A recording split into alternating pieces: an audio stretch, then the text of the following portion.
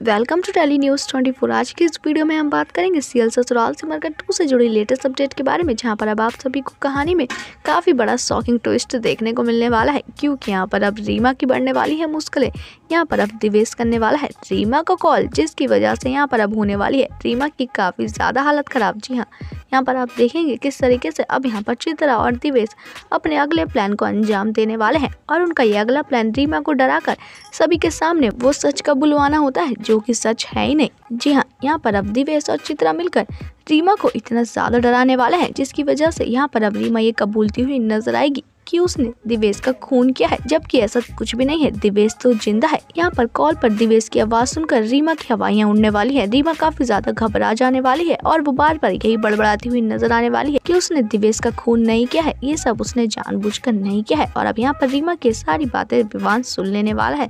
अब देखना दिलचस्प होगा क्या यहाँ पर चित्रा और दिवेश का ये प्लान कामयाब हो जाएगा? क्या यहाँ पर अब विवान निकालेगा? रीमा को घर से बाहर या फिर देगा? रीमा का साथ देखना इंटरेस्टिंग होगा। सीएल ससुराल से मरकर टू से जुड़ा ऐसे लेटेस्ट अपडेट पाने के लिए चैनल को सब्सक्राइब करें। अगर वीडियो पसंद आए तो लाइक करना ना भूलें।